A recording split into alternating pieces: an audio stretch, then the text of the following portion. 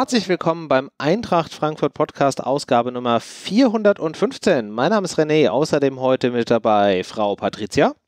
Hallo. Der Herr Basti. Gute und Grüße. Und der Herr Marvin. Heute aus der Tonne, hallo. ja, ja, deutsches Internet ist nicht überall so ideal, ich weiß. Und ich muss da auch vorsichtig sein, mit welchen Steinen ich da werfe. Ich bin da ja, glaube ich, auch zumindest arbeitgebertechnisch nicht so ganz unschuldig dran. Aber gut, so ist das. Wir versuchen das Beste draus zu machen, genauso wie die Eintracht versucht, das Beste aus diesen Fußballspielen zu machen. Bevor wir gleich aber über Stuttgart reden, hier an dieser Stelle nochmal, wie mittlerweile schon äh, Tradition, äh, ein bisschen Housekeeping. Wir bedanken uns ganz herzlich für dieses ganze viele Feedback, was wir vor allen Dingen auch bekommen haben. Ihr werdet es nachher, wenn wir zu der Hörerfrage und zu den Empfehlungen kommen, mitkriegen, dass wir wieder ganz viel äh, Sachen äh, mitgeteilt und geschickt bekommen haben. Und wir haben natürlich auch ganz viele Spenden von euch da draußen wieder bekommen, auch in dem Monat. Das sieht wieder ganz wunderbar aus. Und stellvertretend möchten wir den Jens hier mal äh, erwähnen. Der hat nämlich mit seiner Spende in der letzten Woche da wieder so ein bisschen den Vogel abgeschossen. Von daher stellvertretend für alle anderen vielen Dank an den Jens dieses Mal. So. Und jetzt lasst uns reden über äh, Stuttgart. Auch hier tatsächlich Rotation in der Startaufstellung, genauer gesagt im Mittelfeld. Wer sich aber dabei gedacht hat, äh, dass Ilsanker rausrückt, wie wir es ja letzte Woche so ein bisschen besprochen hatten, und vielleicht da irgendwas anderes ist. Nein, weit gefehlt. Ilsanker ist drin und nebendran kommt natürlich äh, der kongeniale Traumpartner Dominik Kor, weil Rode äh, was hatte er, einen Krampf, Achillessehnen, irgendwas, Sehnendings im Gesäß, also quasi hat zu lang gesessen und hat einen Krampf im Hintern und konnte nicht spielen. Äh, und deswegen war das ultimative Mittelfeld auf der Doppelsechs Ilsanker und Chor. Basti, auf einer Skala von 1 bis 10, wie groß war deine Freude, als du diese Startaufstellung gesehen hast? Ich muss sagen, ich habe damit gerechnet, weil wir es, glaube ich, auch alle herbeigeredet haben. In den Stimmt Wochen. allerdings auch. Es konnte nicht anders kommen, als dass wir uns Besserung erhofft haben und dann wird es noch schlechter. Also im Endeffekt haben wir das alle gemeinsam, ganze Eintracht Universe hat das gejinxt, weil man dachte, ah, Ilsenka kommt endlich mal raus und dann hast du gedacht, nee, weißt du was, Ilsenka bleibt drin und neben ihm spielt noch jemand, der eventuell auch nicht so wohl gelitten ist bei dem einen oder anderen. Das heißt, für mich ist das eigentlich die Worst-Case-Doppelsechs gewesen. Von daher hatte ich aber ehrlich gesagt vorm Spiel noch dieses Zutrauen, was ich mir hier letzte Woche hier eingeredet hatte. Und das war ja dieses von wegen, gut, der wird sicher da was bei denken. Im Endeffekt muss ich davon ausgehen, dass Adi Hütter mehr Ahnung von Fußball hat als ich. Das ist wahrscheinlich auch weiterhin so. Und ja, wenn er, wenn er das, wenn er das macht, habe ich irgendwie noch naives Vertrauen gehabt zu denken, okay, der wird sich dabei schon was gedacht haben. Aber ja, im Laufe der ersten Halbzeit hat sich dann zumindest das nicht bestätigt. Also vielleicht hat er sich ja auch was dabei gedacht. Die Frage ist, hat er den Spielern gesagt, was er sich dabei gedacht hat? Weil im Umkehrschluss, wenn das das, was die auf den, in den ersten 45 Minuten auf den Platz gebracht haben, das ist, was sich Adi Hütter dabei gedacht hat, dann sollte er das vielleicht nochmal überdenken. Oder, Patricia? Ja, schwierig. Also, was soll ich sagen zur ersten Halbzeit? Ich, ich meine, wir haben Alles, was dir dazu einfällt, bitte. Gehe ich davon aus. Ähm, und da lief ja halt auch wirklich gar nichts zusammen. Also durch alle Mannschaftsteile weg, okay, Kevin Trapp kann ich da vielleicht noch ein bisschen rausnehmen, aber sonst war das ja, ja zu wenig, kann man einfach sagen. Und äh, was mir da so ein bisschen Sorgen bereitet hat, ist, dass die Abwehr auch noch angefangen hat, irgendwie rumzuwackeln. Also das ist ja das Letzte, was wir gebrauchen können, wenn wir schon defensiv aufstellen. Sehr defensiv. Ähm, dass dann noch die, äh, die die Abwehr wackelt, ist halt der Worst Case, weil dann weiß ich halt nicht, dann ist, hat sich ja der Sinn der, Aufge äh, der Aufstellung so ein bisschen ja, verflüssigt, sage ich mal.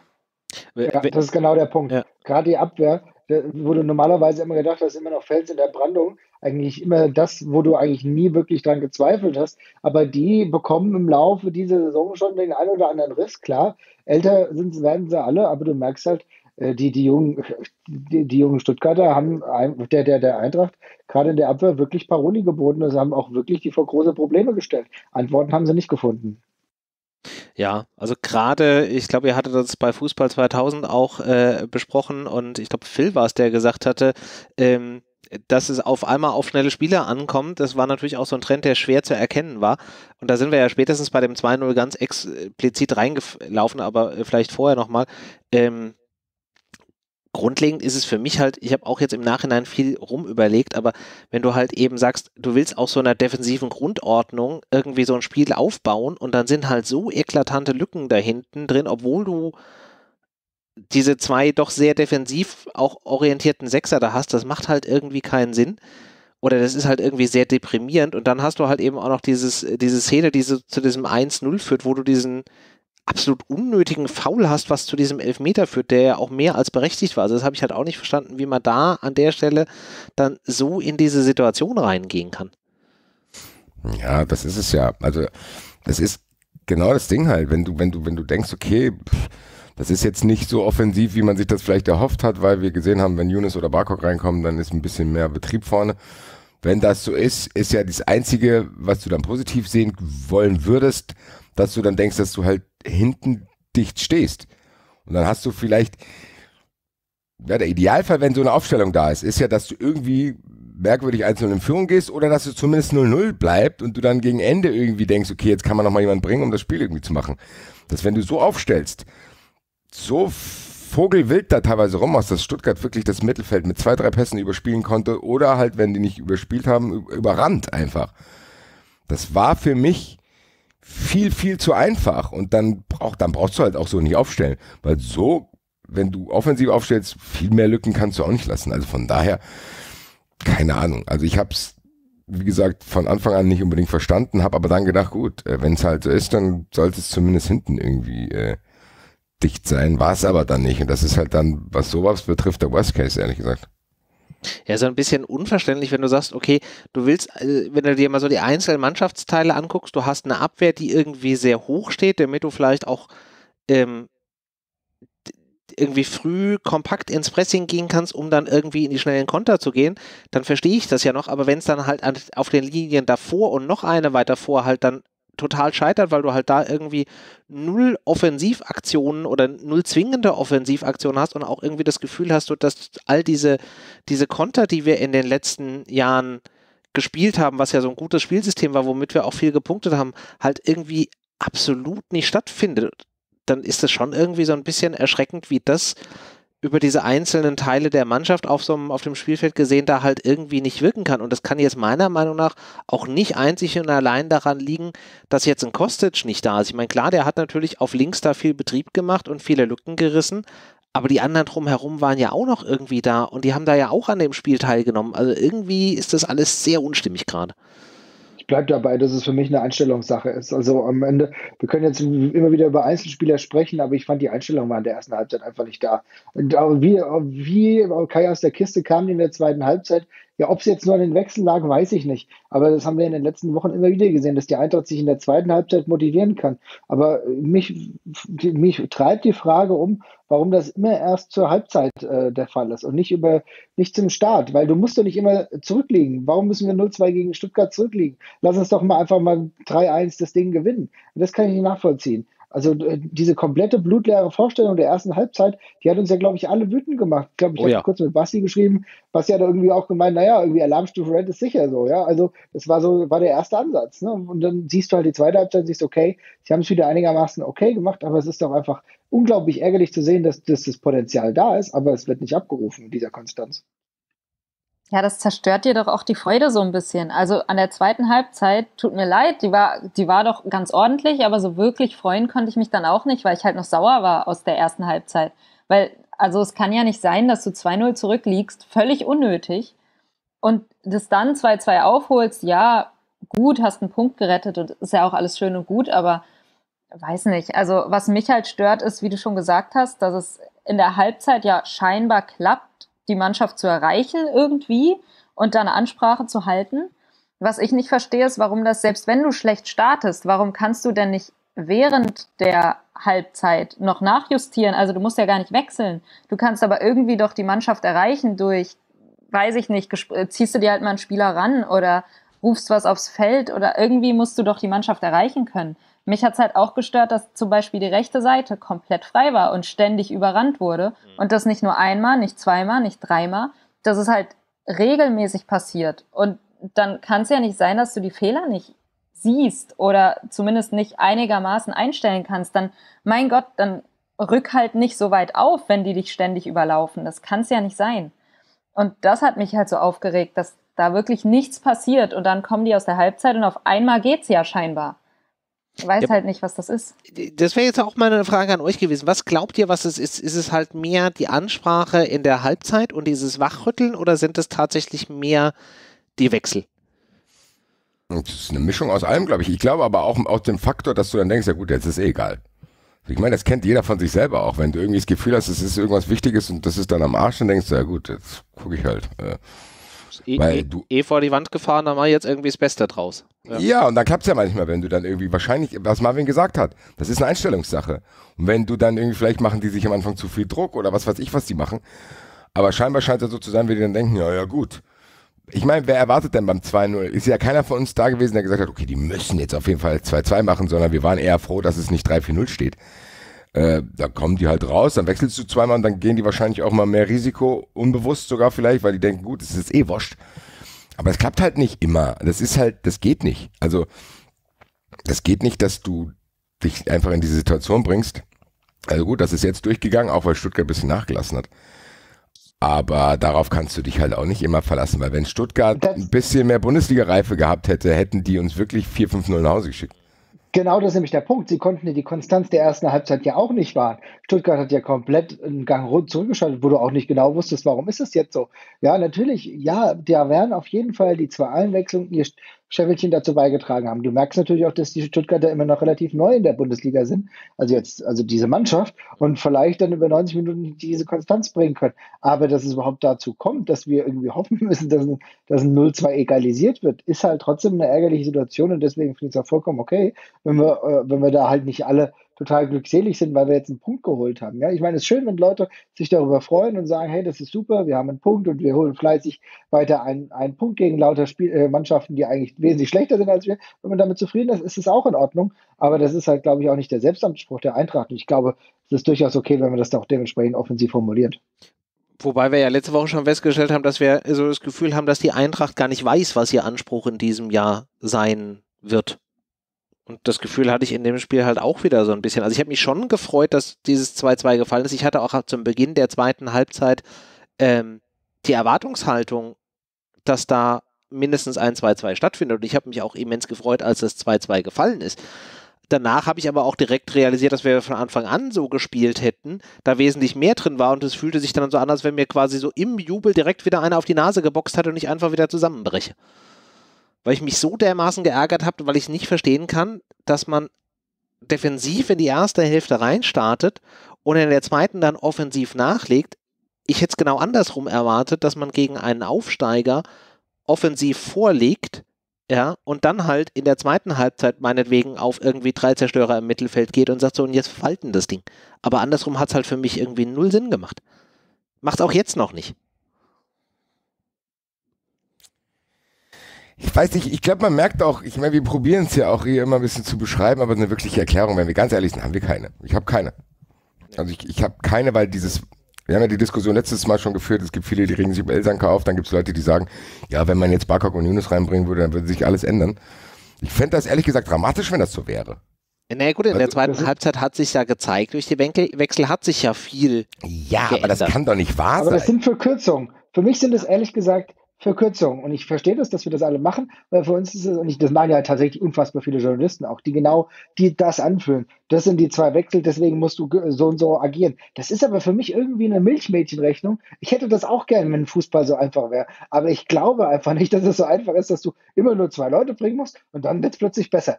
Nee, das erklärt ja nicht, warum in der ersten Halbzeit überhaupt nichts lief. Die, die, diese Mannschaft auch in der ersten Halbzeit muss qualitativ und ist eigentlich qualitativ in der Lage, die Stuttgarter zu besiegen. Das ist das eigentliche Potenzial, wovon ich selbst überzeugt bin. Selbst wenn Ilsanker und Korda spielen, können die das normalerweise. Da ich, das ist eine Mannschaft, die ja, hat ein gehobenes Bundesliga-Niveau, aber sie machen es nicht. Und das ärgert mich. Und das ist viel tiefgreifender als die Wechselmöglichkeit, weil die äh, eine Wechselmöglichkeit übertüncht ja Fehler die wir jetzt gerade versuchen zu, herauszuarbeiten, wo wir aber nicht wissen, wo der Kern liegt. Und das ist genau das Problem.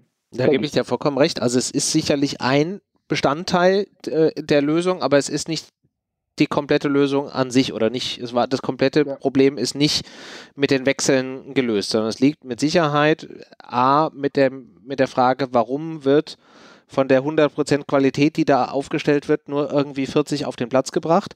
Äh, warum hast du das Gefühl, irgendwie, die haben diese Null-Bock-Einstellung und keiner geht richtig irgendwie mal in die Zweikämpfe rein und rennt hinterher und will irgendwie dieses Tor wirklich machen? Ähm, und generell auch die Frage, warum wählt der Trainer eine defensive ausgerichtete Aufstellung gegen einen Aufsteiger und warum sagt da keiner aus der Mannschaft, ey Trainer, ich würde das vielleicht gerne mal anders machen, weil wir sind hier nicht, wir müssen hier keinen Angsthasen-Fußball spielen. Also es sind halt mehrere Bausteine und ich habe momentan nicht das Gefühl von außen betrachtet, dass die wirklich erkannt werden als Thema. Ja, das ist eine gute Frage. Also ich, ich glaube, die Mannschaft weiß schon, dass dann eine gewissen, gewisse Unzufriedenheit da ist. Die Mannschaft, ich glaube, bei der Mannschaft herrscht selber eine gewisse Unzufriedenheit. Ich hoffe nur, dass sie nicht so ratlos sind wie wir, Weil dann, dann wäre es schwierig. Da würde ich mir auch ernsthaft Sorgen drum machen, wenn es so weit wäre, ja. Das ist allerdings richtig. Wie gesagt, ich bin da ein bisschen ratlos, aber die Ratlosigkeit zieht sich jetzt auch schon länger. Wir haben ja die Spiele besprochen alle. Was Köln, weißt du nicht, wieso Bielefeld weiß man nicht genau wieso, Bremen auch nicht. Ja. Gegen Hoffenheim hat es dann halt noch funktioniert. Gegen Hoffenheim hat es halt noch funktioniert.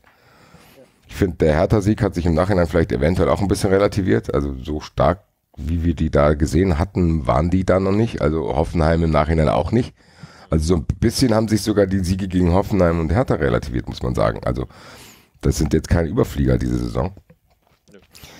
Und man muss jetzt halt mal gucken. Du hast dich jetzt halt einfach selbst in die blöde Situation gebracht, dass du bei einem Spiel, wo du eigentlich wahrscheinlich nichts holst, trotzdem irgendwie das Gefühl hast, du müsstest. So, äh, hast jetzt zwei Wochen Zeit darüber nachzudenken, was gegen Leipzig passiert. Und Leipzig waren halt diese Spiele, die in der Rückrunde zum Beispiel in der letzten Saison ja ein bisschen so eine Trendwende herbeigeführt haben. Aber auch hier sage ich es nochmal, das kann nicht, du kannst dich nicht immer auf solche Dinge verlassen. Also du solltest irgendwann mal einfach weiß ich nicht, vorausschauender Plan, sage ich mal, was, weiß ich nicht, die Leistungen betrifft, so komisch sich das anhört. Aber du hättest dir locker irgendwie eine Situation schaffen können, wo du die Spiele, die jetzt kommen, die knackiger sind, du spielst, glaube ich, zu Hause gegen Leipzig, dann zu Hause gegen Dortmund, zu Hause gegen Gladbach, man hat, hat noch Auswärtsspiele bei Union in Wolfsburg. Ja, Leute, das, ist nicht safe, dass die Eintracht da viele Punkte holt in diesen fünf Spielen und du hättest die jetzt halt schon haben können und hättest locker aus diesen fünf Knackerpartien, die es jetzt werden, äh, Nice-to-Have-Spiele machen können. Ist jetzt nicht der Fall und das ist unglaublich unnötig, aber umso öfter wir hier in den letzten Jahren drüber reden, habe ich auch das Gefühl, das ist ein bisschen Groundhog Day. So. Wie oft haben wir schon gesagt, ja, hätte man da jetzt mal gewonnen, gell? Ich weiß nicht, was das ist, warum das so ist. Es scheint aber einfach so zu sein, egal wer da spielt. Kein Plan, warum es ist. Das ist im Endeffekt, weiß ich nicht, lässt mich das fast verzweifelt zurück, umso länger ich darüber nachdenke. Das ist irgendwie so eine blöde Situation. Du, äh, du siehst ganz offensichtlich, da ist irgendwie ein Problem. Du willst es lösen, dir fällt aber absolut nichts ein und du hast das Gefühl, dass den anderen halt genauso wenig einfällt und du machst halt nichts anderes, als sich ratlos anzugucken. Ja, ja, und ich glaube, die Patricia hat auch keine Lösungsansätze. Oder kannst du uns irgendwie aus der Misere holen, Patricia?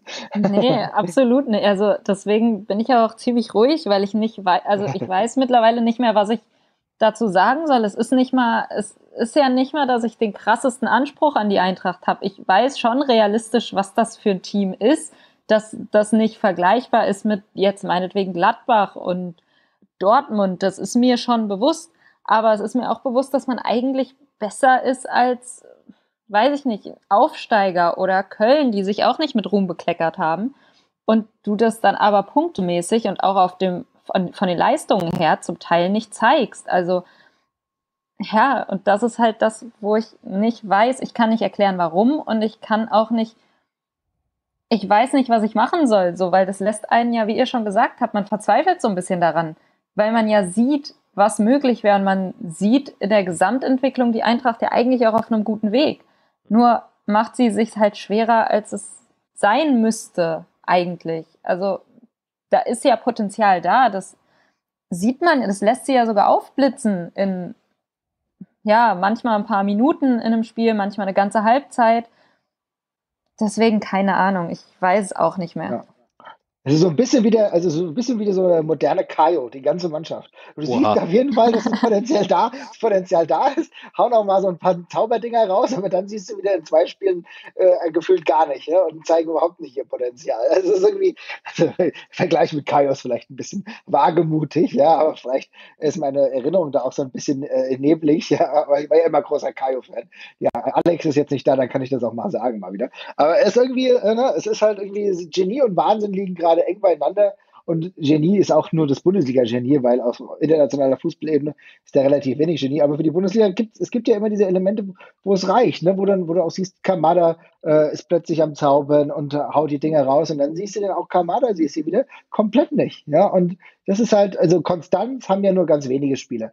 Ein Silver, der scored wenigstens relativ oft. Du hast ein, du hast ein äh, Kevin Trapp, der haut, der, der, der, macht auch keine Fehler oder wenig Fehler. Wenig, also okay. im Verhältnis zum, zum ja. Rest der Mannschaft macht er wenig, so komplett fehlerfrei ist da, glaube ich, keiner in der Nummer. Ja, genau, aber, kein, aber das Leistungsniveau ist nicht hoch, ne? Ja, genau. Die, Schwank die, Schwankungen sind bei manchen Spielern nicht so groß, aber wenn du dir halt die Gesamtsituation anguckst oder die, die Gesamtleistung der, der äh, 11 plus X Auswechselspieler, ähm, die da zum Einsatz kommen, dann hast du da halt schon einfach krasse Schwankungen drin. Und das ist halt das, was uns einfach effektiv äh, die Punkte am Ende äh, kostet. Ja, und, und vor allem auch, dass die Eintracht es halt nicht schafft, gegen Mannschaften zu gewinnen oder Leistung zu bringen zumindest, die halt, ja, spielerisch selbst begrenzt sind. Also sobald die Eintracht das Problem haben wir auch schon seit Wochen, das Spiel machen muss, seit Monaten. Seit Jahren sagen seit wir Jahren. das schon. Seit die, wenn die Eintracht das Spiel machen muss, weiß sie halt nicht, was sie tun soll und du merkst es halt auch und du merkst dann aber auch, dass das dann genau in die andere Richtung geht. Also sie sind ja dann anfällig für Fehler und dann gibt es irgendwie einen dusseligen Fehlpass und dann steht die Abwehr hinten auch noch offen und das kommt halt alles zusammen und ja, weiß nicht, man kann sich aber dann auch im Umkehrschluss nicht wirklich auf Spiele freuen, wo man sagt, hey, jetzt ist die Eintracht wieder der Underdog, jetzt geht's vielleicht, weil ich mir denke, naja, die Probleme, die sie spielerisch hat, hat sie ja dann genauso gegen die großen Vereine. Also ja, aber da ist sie halt nicht ja. drauf an, da ist sie halt nicht drauf angewiesen. Äh, der Leon hat gerade in den Chat, äh, in den Chat geschrieben, äh, ich äh, lese es mal kurz vor. Letzten Endes ist es halt so, wie auch überall sonst in der Bundesliga, die Mannschaften, die sich hinten reinstellen, sehen letztendlich besser aus als die, die das Spiel machen müssen. Außerhalb der Top 5 will niemand das Spiel machen. Ich würde vielleicht noch ergänzen, ja doch, ich glaube, das macht sogar Sinn. Will macht mehr Sinn als kann nicht, weil ich glaube schon, dass wir Spieler im Kader hätten, die das könnten, aber wir wollen es nicht. Damit sind wir dann in so einer Pattsituation, dass wir halt auf der einen Seite dazu gezwungen werden und auf der anderen Seite irgendwie so diese, diese Schranke im Kopf haben, so, nee, eigentlich ist das nicht das, wo ich gerade Bock drauf habe. Ja, ich weiß nicht. Äh, Versuche mich jetzt auch selber ein bisschen zu bremsen, weil die Eintracht hat ja trotzdem auch nicht verloren. Also so ein kleiner Fortschritt ist da. Das heißt, die Eintracht hat sich schon auf einem gewissen Niveau etabliert. Was wir vor ein paar Jahren auch noch unterschrieben hätten. Zu sagen, die Eintracht ist auf jeden Fall eine gehobene Mittelklasse-Mannschaft geworden aber halt auch nicht mehr. Also die Eintracht stagniert gerade so ein bisschen, aber trotzdem halt auf dem Niveau, woran wir uns in den letzten Jahren gewöhnt haben, so ein bisschen. Also das ist schon noch gut. Also ich glaube, was ich wirklich sagen kann, das habe ich auch bei Fußball 2000 nochmal gesagt, da wurde ich dafür belächelt, aber was man halt festhalten kann, die Eintracht wird safe nicht absteigen. Und das war auch nicht immer so. Marvin, erinnere dich bitte, als wir in dem Coworking Space nochmal diese Folge gemacht haben damals mit Kamera, ja, ja, wir, Hashtag, als wir Hashtag, Hashtag X gesagt haben, weil wir damals gedacht haben, gut, die Eintracht Mannschaft, die kam von Platz 6 bis 16, äh, alles äh, ist da drin. Also da waren wir noch in dem Modus, von 6 bis 16 ist alles drin. Zumindest das hat die Eintracht weggekriegt. Also ich habe wirklich gar keine Angst, dass die Eintracht auch nur in die Nähe der Abstiegsränge kommt. Da habe ich mich halt daran erinnert, dass wir das in der letzten Saison auch gesagt haben, dass die Eintracht eine Mannschaft ist, die safe nichts mit dem Abstieg zu tun hat und umso später es in die Saison ging, umso knapper wurde der Lachs. Da war ja auch nur ein paar Wochen, ne? Also es waren nur Weiß zwei, drei nicht, Wochen und dann war man wieder war. Letzte Saison war doch auch easy peasy dann. Also, also Abstiegsangst hatte ich jetzt nicht unbedingt, meine Güte. Also Patricia sagt, wir haben uns auch so ein bisschen, wir, damit darf man nicht äh, vernachlässigen, das war eine ungewisse Situation. Ja, da gerade irgendwie da ein bisschen underperformed, ja. Und äh, also da waren ja auch viele auch menschliche Unsicherheiten dann auch bei uns irgendwo so da, wo wir nicht genau wussten, was Sache ist. Also äh, ich glaube, am Ende hat es ja dann alles gut funktioniert aber wir reden uns eh auch ganz gerne in Rage, auch in die Negativrage. Aber bei rationaler Betrachtung ist es durchaus so, was, was sie gesagt hat. Abstieg, es gibt in dieser Saison, und ich glaube, das können wir schon sagen, einfach ganz andere Dulli-Mannschaften. Da sollten wir einfach nicht reinrutschen. Nee, vor allem nicht, wenn du, nehmen wir jetzt das Stuttgart-Spiel, du lagst 2-0 hinten und du drehst das halt noch auf 2-2. Klar, ich habe gesagt, ich habe mich nicht besonders stark überschwänglich gefreut, weil es halt mich geärgert hat weil ich mehr erwartet hatte. Ist vielleicht auch mein Fehler, aber ähm, insgesamt gesehen, wenn du so ein Spiel dann noch auf einen Punkt drehst, ist das also für einen Abstieg, äh, mit dem Abstieg hast du dann nichts zu tun, weil, weiß nicht, wenn du das in meinetwegen zwei Dritteln der Spiele schaffst, dann ist das, machst du Punkte und dann bist du eigentlich auch ziemlich sicher irgendwo, ja, bist du wahrscheinlich irgendwo im Niemandsland. Das wird auch nicht für Europa reichen, aber mein Gott, dann ist das halt so. Ja, aber ich, ja, wie gesagt, das ist ganz schwierig. Ich meine, es ist auch eine Gratwanderung zu sagen, okay, die Eintracht ist stabil, aber das reicht mir aktuell trotzdem nicht. Ich kann mich da natürlich irgendwie ein bisschen relativieren selbst und da kann man, kann man einen weiten Blick drauf werfen, aber trotzdem, Leute, sollten wir uns nicht und die Eintracht selber nicht damit zufrieden geben, dass die eben diese vier Spiele, die wir immer wieder hier ansprechen, nicht gewonnen hat. Oder zumindest nicht zwei oder drei davon. Und ich mich nervt es ein bisschen, muss ich auch sagen, dass die Diskussion scheinbar nur unter Fans geführt wird und öffentlich gar nicht. Also ich habe nicht das Gefühl, dass die sich großartig ärgern, dass die gegen Bremen, Köln, Bielefeld und Stuttgart nur vier Punkte geholt haben. Nee, das Gefühl habe ich auch nicht. Ich habe und dann dadurch auch, was man auch nicht unterschätzen darf, ist halt so eine, so eine, so eine, eine Verselbstständigung, die so einen Spielplan und so ein Auftragprogramm haben kann. Wenn du ein Auftragprogramm hast, was einigermaßen easy peasy ist, und du gewinnst auch noch gegen Hoffenheim und Hertha, wo du am Anfang gedacht hast, hm, weiß man nicht, muss man gucken. Dass sich das schnell in eine positive Richtung verselbstständigen kann und du dann mit ganz, ganz breiter Brust gegen Leipzig plötzlich spielst, weil du irgendwie, weiß ich nicht, Vierter oder Dritter bist. Und das wäre wirklich ohne Rocket Science drin gewesen. Ja, das, das ist, halt ist glaube ich, das, was uns alle ärgert. Nicht, das dass ja, die genau. Eintracht die dritte ist, sondern dass das, das hätte nicht viel bedurft, weißt du? Also es ist nicht so, dass man denkt, boah, die Eintracht ist meilenweit von XY entfernt und da müssen wir noch ein paar Jahre warten, so. Also die Entwicklung, die wir immer irgendwie vergleichen mit Gladbach, da wissen wir, dass die Eintracht zwei, drei Jahre, und zwar drei erfolgreiche Jahre hinten dran ist, um irgendwie auf dem Niveau zu sein wie die, klar. Aber die Eintracht könnte locker diese Chance nutzen, die gerade besteht. Dass was die Eintracht einigermaßen stabil aufgestellt ist, was Corona betrifft. Und halt so Mannschaften wie Bremen, Schalke einfach mal längerfristig abschütteln. Auch tabellarisch dann. Und dann will ich halt auch auf dem Platz sehen. Das schafft die Eintracht gerade nicht. Kann sein, dass das noch kommt, aber aktuell muss man sagen, und das würde ich mir auch von der Mannschaft wünschen und von den Verantwortlichen auch, dass man jetzt gerade sieht, scheiße, das ist echt kacke. Weil es ist kacke. Weil es wird sich auch noch einnorden, wenn die nächsten Spiele jetzt, wo Gegner sind, wo wir eigentlich nichts holen könnten, dann auch wirklich vielleicht mal nichts geholt wird. Und dann stehst du nämlich da. Dann fehlen dir nämlich diese Punkte. Jetzt ist noch alles in Ordnung, aber es kann halt sich schnell drehen, wenn du da irgendwie jetzt, keine Ahnung, zu Hause 4-0 gegen Leipzig verlierst, was nicht unmöglich ist. Hm. Ja, es sind halt wirklich nur diese Kleinigkeiten und da auch das, was wir ja auch schon ähm, das ein oder andere Mal in der Vergangenheit angesprochen haben. Es fehlt halt jetzt auch so ein bisschen so dieser Gegenpol, die Fans, die solche Themen dann halt auch in Form von Bannern oder sonst irgendwas dann halt auch im Stadion ansprechen. Es ist halt, du hast so das Gefühl, es bekommt halt irgendwie wenig Aufmerksamkeit und es wird halt auch vom Verein wenig adressiert, was entweder einfach nur sein kann, dass sie das nicht tun wollen, es aber trotzdem mitbekommen haben und dran was ändern, oder halt einfach es nicht so in der Maß wahrnehmen, wie wir es wahrnehmen. Aber dadurch, dass du da halt zusätzlich auch noch diese Unsicherheit hast, macht es sich halt doppelt irgendwie kirr. Ja. Kriegen wir das Problem jetzt hier gelöst? Nee, gesagt, glaub äh, ich glaube nicht, weil wir es nicht benennen können.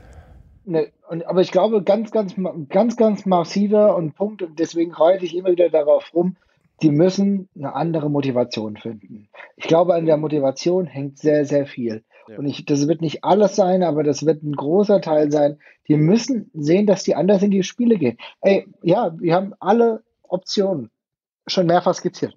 Es ist durchaus möglich, dass Corona auch für die eine schwierige Sache ist, dass die, wenn die ins Stadion kommen, nicht irgendwie ein gleiches Gefühl haben wie davor. Aber da, da müssen die sich reinversetzen, weil sie schaffen es ja doch. Und das müssen die selber hinbekommen. Das kriegen wir nicht anders hin. Wir sind, wir, wir sind ja auch nur Betrachter von außen, selbst wenn wir ein bisschen reinhören, aber das müssen die hinbekommen. Das Potenzial, und das kann man immer noch sagen, und daran glaube ich fest, ist weiterhin da. Sie müssen nur an der Konstanz arbeiten. Und das müssen sie bald tun, denn Fakt ist, uns sind extrem viele sehr, sehr gute, leichte Punkte durch die Lappen gegangen und ich sage es nochmal, weil es genau jeden nervt, aber weil es genau die Punkte sind, die mich unfassbar in der Rückbetrachtung heute noch ärgern, die würden mich in zwei Wochen noch ärgern, dass wir gegen fucking Bielefeld keine drei Punkte geholt haben. Da kannst du noch ein paar Ausreden, hast du noch. Aber du hast keine Ausrede gegen Bremen. Das ist eine grottige Mannschaft. Bremen ist wirklich, das ist eine Bundesligamannschaft, die, ich verstehe gar nicht, was die für einen Fußball spielen. Genauso auch Köln, was Köln für einen Fußball spielt. Ich meine, Stuttgart spielt einen coolen Ball und die, die, für, bei denen, okay, whatever. Aber es kann doch nicht sein, dass Bremen zehn Punkte auch schon hat, obwohl die so einen grauben Fußball spielen und Köln, ja, meine, meine Güte, das hat schon einen Grund, warum, auf die, warum die auf Platz 16 stehen. Das ist nicht böse gemeint, nichts gegen die Vereine persönlich, aber dass du da nicht zweimal die volle, volle Punktzahl abgeholt hast, das nervt mich. Und das bleibt auch. Und das müssen, das muss die auch nerven, weil die eigentlich besser sind. Und wenn sie selber die Ziele formulieren, wenn sie selber die Ziele formulieren, ja, also äh, Europacup, das wäre schon ganz gut, oder wenn irgendwie ein Silver über internationale Ziele spricht, dann müssen sie das auch ummünzen. Und das, jetzt wird es immer enger, weil jetzt kommen die großen Knacker. Ja. ja. Ich glaube, das ist, glaube ich, auch das, was mich so genervt hat, Marvin, weil du hast gesagt, die haben das ja selber ein bisschen so formuliert und dann erwarte ich auch, ich meine, meine Güte, das kann auch immer mal sein, dass sie, wie wir dürfen jetzt auch nicht überdramatisieren, die Eintracht hat jetzt auch teilweise hätte ein bisschen mehr Glück braucht, gebraucht und dann hätte es vielleicht, weiß ich nicht, hätten wir ein, zwei von diesen Spielen gewonnen, wäre es auch positiver. Das heißt, so, so eine langfristige Generalkritik sollten wir uns jetzt vielleicht sparen. Trotzdem, was mich wirklich nervt, und das kann ich festhalten zu 1000 Prozent, ist, dass das die nicht zu nerven scheint. Beziehungsweise merke ich davon nichts. Ich merke davon in Interviews nichts, wenn Hübner da irgendwas erzählt. Du merkst davon überhaupt nichts in der Kommunikation. Und das irritiert mich halt. Ich will nicht, dass die Eintracht denkt, dass das in Ordnung ist. Ist es nicht. Und die Eintracht soll sich darüber ärgern. Und die Eintracht soll das, was sie dann vorher formuliert, auch irgendwie dann, ja, das, ja, ich sag mal, nicht hinterfragen, aber dann zumindest sagen, okay, das war halt zu wenig für das, was wir uns vorgenommen haben. Das will ich halt einfach nur sehen, dass man das, das Gefühl, dass Fans und Mannschaft haben das gleiche Gefühl, dass du nicht in so verschiedenen Parallelwelten lebst. Du hast dann das Gefühl, wir würden hier nur meckern ich will halt auch, dass die sehen, dass das unnötig war, dass die gegen diese schlechten Vereine nicht gewonnen haben. Und das muss der Anspruch von denen sein. Das sollen die gerne vorher auch formulieren und wenn es dann aber nicht klappt, gerne auch nachher, damit man ein Gefühl dafür hat, wie kann ich das bewerten? Wie kann ich diese Mannschaft bewerten? Merkt ihr, wie schwer wir uns tun, wie wir hier versuchen, irgendwas zu finden?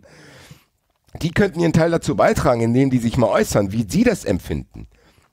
Und nicht dieses, äh, äh, dann weißt du nicht genau, wie die da auftreten. Das Gefühl, in der ersten Halbzeit ist keiner auf dem Platz. Die schreien sich auf dem Platz auch nicht an. Ich habe von keinem Spieler irgendwie ein Bild im Kopf, der irgendwie nach dem 2-0 mal, weiß ich nicht, rumschreit oder sonst irgendwas. Und selbst Kevin Trapp, von dem wir das immer erwarten, dass wir auch gesagt haben, das ist wichtig, diese Position, die er hat. Selbst der wirft dann den Ball mit so einem Geigenhumorgrinsen aus dem Tor. Und denkt, ja Leute, also so, wo du das Gefühl hast, ja Leute, was ist denn mit euch? Dann macht euch das irgendwie klar, kommuniziert das ein bisschen und zeigt es dann am nächsten Spiel auf dem Platz. So ist das echt kacke, weil, und das ist der letzte Punkt, den ich jetzt in dieses Spiel reinballern will, ist das, was Marvin auch bei Fußball 2000 gesagt hat. Uns wurde ja was anderes versprochen, so. Uns wurde jetzt, letztes Jahr wurde die ganze Zeit gesagt, ja Leute, beruhigt euch mal, dass wir hier in Köln und in Paderborn verlieren, das hat auch mit der Doppelbelastung zu tun. Ja gut, die ist jetzt weg. Die ist ziemlich weg, ja. Trotzdem passiert das überlegt mal, diese zwei Spieler, Marvin hat vorhin gesagt, er trägt diese Spiele aus dieser Saison noch mit rum. Wenn ich jetzt Bock habe, kann ich mich auch komplett in die Wut reinarbeiten, die ich letztes Jahr hatte, als die Eintracht in Paderborn und gegen Köln verloren hat. Das ist Wahnsinn. Und das sind diese Spiele, die sind so unglaublich unnötig. Und jetzt hast du es schon wieder. Und das muss irgendwie raus. Und das müssen die auch wissen und müssen sich da nicht verteidigen, sondern müssen das selber wollen. Es tut mir leid. Word. Ja. Gibt nichts mehr hinzuzufügen. Ich glaube, wir haben das allumfassend so, so äh, weitestgehend wie möglich versucht zu umschreiben. Das Problem liegt innerhalb dieses Konstruktes selbst und das müssen die jetzt rausfinden, weil das Potenzial ist da, aber ich brauche es auch nicht noch zehnmal sagen, dass Potenzial da ist. weil irgendwann bringt es ja nichts, wenn ich die ganze, ganze Zeit sage, oh, ich habe so ein geiles Fürst Pückler-Eis im Regal, das ist so lecker, und dann, und, und, und dann sage ich die ganze Zeit und dann sind, sind gar keine Gäste mehr da, um zu essen und dann vergesse ich es und dann äh, brennt mir die Hütte ab, ja, dann ist scheißegal, dann, da war die ganze Zeit das Geile fürs Pückler-Eis, aber es hat niemand gegessen, ja, und dann, dann hat es uns alle nicht geholfen. Also insofern, die müssen sehen, dass sie es fürs Pückler-Eis endlich mal rausholen und verspeisen, bevor die Hütte abbrennt. Wie kann man bitte fürs Pückler-Eis vergessen? So, musst du jetzt überlegen. wird mir, wird mir nicht, nicht passieren, nicht in naher Zukunft. Ähm, ja. Das Bückler-Eis, Alter. Ja. Sehr gut. Eine, haben, wir, haben wir was für, für einen Sendungstitel? Das Bückler-Eis, Alter. Das ist ja wahnsinnig gut. Köstlich. Ja. Aber auch ein bisschen fad. Es ist so ein, so ein, so ein es ist irgendwie uh. lecker, aber eigentlich jetzt auch nicht so das absolute Highlight, ne? Das ist doch einfach nee, nur Schokolade, Erdbeer und Vanille, oder nicht? Das ist korrekt. Ja, mit so einer Waffel. Mein Lieblingseis von meinem Vater. Von der Waffel? Ich habe einfach gedacht, das wären nur diese Dreier. Hätte ich, also, hätte ich jetzt auch gesagt, es gibt das ja auch einfach so im Bottich. Ja, oder so. Bottich, Alter. Was, hier, Alter, ich zieh gleich mal einen Anorak an und dann machen wir hier mal eine 90er Jahre. Ja. habt, ihr das, habt ihr das früher nicht gemacht, dass ihr euch dann irgendwie, weiß ich nicht, beim hier äh, Discounter so ein, so ein 500 Milliliter äh, fürs Pückler-Eis mit drei Leuten geholt habt und das weggelöffelt habt? Mein Opa hat das gerne gemacht, ja. ich weiß nicht, wo wir. In meiner also, Generation hat man das auch noch gemacht, ne? so hört sich das gerade an. René zieht seinen Anrag an, da holt er sich einen Bottich fürs Pückler-Eis und dann verstehst du. Ja. Ich weiß nicht, welche Auswahl wir hier gerade genommen haben, aber sie gefällt mir auf jeden Fall besser als das Spiel. Also. Ich kann nichts dafür. Marvin hat uns in diese Richtung gebracht. Ja, dann, dann nehmen wir jetzt mal wieder die Ausfahrt nach Vero Town und gehen mal wieder zurück zum Fußball. Dann gehen wir, gehen wir zurück zum Fußball. Ähm, der Fußball findet aber ja jetzt in den nächsten 14 Tagen nicht in Frankfurt statt, oh. sondern auf internationaler Bühne. Genau, Basti hat schon die richtige, die richtige Tonlage dafür gefunden. Es ist Länderspielpause, meine Damen und meine Herren. Freuen wir uns auf eine Länderspielpause? Ja oder ja? Also ich hau mir jetzt, darauf haue ich mir noch ein Pückler-Eis rein, Alter. Da freue ich mich aber ganzen Eimer rein. Ja, der, der liebe Yogi und seine Jungs haben auch schon äh, ihre Anoraks in der Hand und stehen quasi am unten vorm Haus und warten drauf, dass der Bus vorgefahren wird. Also ganz ehrlich, in der aktuellen Situation und dann auch noch irgendwie teilweise hier irgendwie Testspiele, die in was weiß ich nicht wo irgendwie stattfinden. Ich finde es maximal unnötig. Das ist halt eine Aussage, ich glaube nicht, dass einer von uns da widerspricht, äh, sprechen kann. Also, also Hot, Hot, Take, René heute wieder in Fahrt auf jeden Fall. Ich bin heute wieder in, in, in Fahrt, genau. Ähm, und was mich halt noch mehr erschreckt, ist, wenn ich dann halt sehe, wer alles jetzt irgendwie äh, zu Länderspiel äh, zu Länderspielen aufbricht. Man, da sind so ein paar offensichtliche Kandidaten dabei, wie Hinti und Ilsanka und Zuber und So und Barkok und Trapp und Kamada auch noch. Und dann steht da der Name Kostic. Ja, der das ist eine Frechheit. Nach ey. Belgrad fährt, um da irgendwie äh, ein Qualifikationsspiel und Freundschaftsspiele zu machen, wo wir gerade froh sind, dass der irgendwie aus der ähm, aus der Verletzungspause zurückkommt, am Wochenende gegen Stuttgart hier seine 8, 9 Minuten Einsatz bekommen hat und du denkst so, jawohl, jetzt geht's los und dann jetzt irgendwie Länderspiel und A, Verletzungsrisiko, weiß ich nicht wie hoch und B, kommen die am 17., 18. September zurück und dann musst du am 21. Äh, September, äh, November meine ich natürlich, äh, kommen die zurück und dann musst du am 21. November da gegen Leipzig spielen ohne dass von denen gerade Kostic mal irgendwie so richtig intensiv am Mannschaftstraining irgendwie teilgenommen hat. Also da schwillt mir die Krawatte, das kannst du dir gar nicht vorstellen. Ich verstehe auch nicht, warum die Eintracht da nicht irgendwie mal so ein, ja, keine Ahnung, also diese berühmte Schweinsteigerzerrung mal irgendwie angebracht hat. Ja, weil wir dafür dann halt auch wieder zu lieb und zu ehrlich sind. Weiß ich nicht. Also das hätte ich mit dem Spieler probiert abzusprechen, zu sagen, hier, Digga, du bist doch alles andere als fit. Ähm, sag, du brauchst noch. Also, der ist ja auch nicht fit. Was wollen die mit dem jetzt? Also, was soll das? Also das verstehe ich wirklich nicht, dass man da nicht irgendwie Kommunikation findet, zu denken, ey, der ist halt noch nicht fit. Der kann ja dann, wenn er voll im Saft ist, meine Güte, muss halt Zylinder spielen, aber doch jetzt nicht. Also ich habe, ich war echt sprachlos, als ich das gelesen habe, dass das überhaupt in Betracht gezogen wird und jetzt auch noch äh, wahrscheinlich so passiert. Was soll das denn? Also da muss ich sagen, boah, hätte ich mir erhofft, dass man da irgendeine Lösung findet, dass das eben nicht der Fall ist, weil der hätte es sehr gut gebrauchen können. Und alles, was wir die ganze Zeit gesagt haben, wir haben gehofft, oh geil, und dann wird er wieder eingewechselt und bla. Und er kann jetzt irgendwie da zwei Wochen Zeit, um wieder Wettkampfpraxis zu bekommen, weil er für unser Spiel auch echt wichtig ist, weil er einer der wenigen ist, der schnell ist. Dass der da jetzt hinfährt und überlegt euch, was passiert. Was ist, wenn der sich jetzt da nochmal verletzt? Puh, also, und dann noch für diese unnötigen Länderspiele. Das wäre so schon so ein, so ein Ding, wo man sagen würde, ja, vielen Dank auch, das hat 2020 noch gefehlt. So.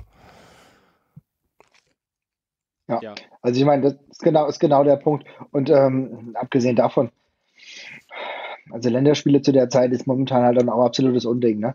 Dass du überhaupt Länderspiele machst. Also erstmal so, äh, wir sehen ja zunehmend, dass sich Leute bei Länderspielen auch infizieren, also mit dem Covid und äh, also mit Corona. Und dann gibt es natürlich auch immer die mysteriösen Einzeltestungen. Da sind, oh nee, das ist einfach, der ist so komplett isoliert von der Mannschaft, das ist der Einzige, der hier Corona hat. Ja? Also, also, sonst passiert da ja nichts, das ist sonst alles ganz cool. Ja, und dann, aber ist es tatsächlich so, dass du dann auch natürlich ein Risiko hast, dass äh, Leute dementsprechend zu Auswahlzeiten gelangen. Was soll das denn? Wozu muss denn Daichi Kamada gerade jetzt keine Ahnung, für die japanische Nationalmannschaft unterwegs sein. Das, das habe ich halt auch nicht mal, verstanden, ist, weil gerade auch ja, bei Kamada, so es, sind, Wettbewerb. es sind, mhm. also bei, bei manchen verstehe ich es ja noch so ein bisschen zu sagen, das ist jetzt irgendwie gerade Kostic, das eine ist ein EM-Qualifikationsspiel, wo du vielleicht noch sagen kannst, okay, kann ich noch so mit, mit, mit so ein bisschen Akzeptanz kann ich da noch irgendwie rangehen. Aber Kamada, der für die Nationalmannschaft gegen Panama, also die spielen gegen Panama und gegen Mexiko und das sind beides Freundschaftsspiele. Gut, die sind jetzt in Graz, das heißt, der muss jetzt noch nicht mal irgendwie um die halbe Welt fliegen. Da kannst du noch irgendwie sagen Reiseaufwand, aber trotzdem, es sind halt, wie Basti schon sagt, es sind Spiele ohne jeglichen Wert. Und dafür einfach das Risiko da einzugehen, verstehe ich halt gerade nicht. Ich verstehe es auch wirklich nicht. Also ich verstehe es auch wirklich nicht. Ich verstehe es auch nicht, selbst wenn ich jetzt irgendwie all meine Abneigung gegen diese Länderspielpausen überhaupt rausrechnen würde. In der aktuellen Situation muss man wirklich da müsste der größte Länderspielfreund auch mal sagen, hier Leute, lass uns das ausfallen lassen. Also Freundschaftsspiel ist, glaube ich, das allerletzte, was wir jetzt brauchen. Wirklich nicht. Also da gibt es halt so. keinen Grund. Da mussten diejenigen, die das auch immer verteidigen. Ja, ja, auch diese Nations League-Spiele, die verstehe ich halt auch nicht. Also ich verstehe dieses Konstrukt Nations League halt so oder so schon nicht. Und da kann ich halt auch irgendwie null Verständnis für aufbringen, weil es halt auch so ein komplett unnötig, äh, komisch konstruiertes, äh, was weiß ich was ist. Ja, aber das Konstrukt haben wir ja schon gesprochen, aber äh, ich habe einen Überblick verloren. Patricia, weißt du, wie, wie viele Länder, wie viele Freundschaftsspiele gibt es jetzt? Sind ja auch, sind mehr als eins, oder? Ich glaube. Ich habe keine Ahnung. Ich glaube, es sind hm. mindestens zwei oder so überall, oder? Also Hinteregger Ilsanker Freundschaftsspiel gegen Luxemburg und dann Nations League Spiele gegen Nordirland und Norwegen. So und Zuber Freundschaftsspiel gegen Belgien, dann Nations League Spiel gegen Spanien und die Ukraine. Dann Trapp mit Deutschland Freundschaftsspiel gegen Tschechien, Nations League Spiel gegen die Ukraine und Spanien, obviously. Kostic, EM-Qualifikationsspiel gegen äh, Schottland, Nations League-Spiel gegen Ungarn und Nations League-Spiel gegen Russland. Barkok mit Marokko, äh, Afrika-Cup-Qualifikationsspiel gegen die Zentralafrikanische Republik zweimal. Kamada hatten wir schon gesagt, Freundschaftsspiele gegen Panama und Mexiko und Schubert mit der U21 Freundschaftsspiel gegen Slowenien und äh, EM Euro-Qualifikationsspiel gegen Wales. Geiler Service, danke dir. Jetzt weiß Vielen Dank, René, ja, das hat mir jetzt sehr das viel. Das habe ich auf der Seite der Eintracht abgelesen, da ist das danke, alles schön äh, aufgelistet. Ja. Ich verlinke euch das mal, dann könnt ihr das nochmal nachlesen. Bitte, ja, kannst du mir das ausdrucken und per Post nochmal schicken? Ich kann dir, warte mal, ich mache dir einen Screenshot, dann schicke ich dir ja. den, dann weißt du, was du da gucken musst. Auf jeden Fall. Also. Aber Patricia, was machen wir denn in der Freizeit? Weil, weil ich glaube, keiner von uns guckt das Spiel. Haben wir denn ein gutes Alternativprogramm? ich habe keine Ahnung. Vielleicht kommt später irgendwas an den Empfehlungen oder so. Es ist halt ja, auch. Genau. ich will das auch nicht sehen, wenn ich ehrlich bin, weil es mich halt sauer macht. Weil ich dann halt ständig dran denke, ja, muss das gerade sein? Und was bedeutet das jetzt auch für die Ligen der einzelnen Spieler? Und keine Ahnung, man drückt ja so oder so schon die Bundesliga gerade so durch. Keine Ahnung, ich, ja, ich will es auch nicht wieder von vorne aufrollen, aber auch jetzt, ich habe jetzt auch gelesen, zum Beispiel Renault ist jetzt schon in Quarantäne, weil bei der dänischen Nationalmannschaft da irgendwie ein Fall aufgetreten sein soll. das zieht sich ja dann so durch, selbst wenn sich der Spieler nicht infiziert, ist er erstmal in Quarantäne, dann kann er nicht trainieren, also zumindest nicht mit einer Mannschaft, mit Mannschaft am Ball. Dann, ja. Äh, genau, kann sich halt fit halten, ist, ja, ist es ja dann eher als trainieren. Und äh, das wirft halt Spieler einfach zurück und dann kommen sie halt, ja, wie schon gesagt, drei Tage vor dem Bundesligaspiel zurück in ihre Mannschaften werden dann nochmal getestet und irgendwie, keine Ahnung, ein Tag vorm Spiel heißt, ja, und zwei sind irgendwie auch übrigens noch positiv. Surprise, surprise. So geil. Also, ja, ja ist halt für mich absolut nicht nachvollziehbar gerade, aber. Ja. Aber exakt das, das ist genau diese relevante Problematik, die du beschrieben hast. Genau das ist halt die Schwierigkeit. Wenn das dann passiert, und stell dir mal vor, die äh, holen wegen ihrer Nationalmannschaft oder ihrer Länderspiele, holen sie hier den Nerz-Corona hier nach Deutschland. Ja, dann ist aber die Hölle los. das fehlt uns noch jetzt noch sowas. Nerz-Corona, ey. Es geht jetzt noch weiter. ja, leider, Mutation. Leider ja. hat es nicht funktioniert. Wir haben zwar jetzt einen Impfstoff, aber der wirkt nicht mehr gegen das Nerz-Corona. Genau, Danke. jetzt kommt das Neue. Wisst ihr noch damals, als immer bestimmte Tiere das Problem waren, zum Beispiel der Wolf, also Basti wird sich erinnern, äh, ich wünschte, das wären jetzt gerade unsere Probleme. Wenn es einfach nur der Nerz wäre und nicht Nerz-Corona. Oder E-Scooter. Ja, E-Scooter. Ja. Oh, die, ja. die, guten alten E-Scooter-Probleme. Was ist eigentlich aus denen geworden?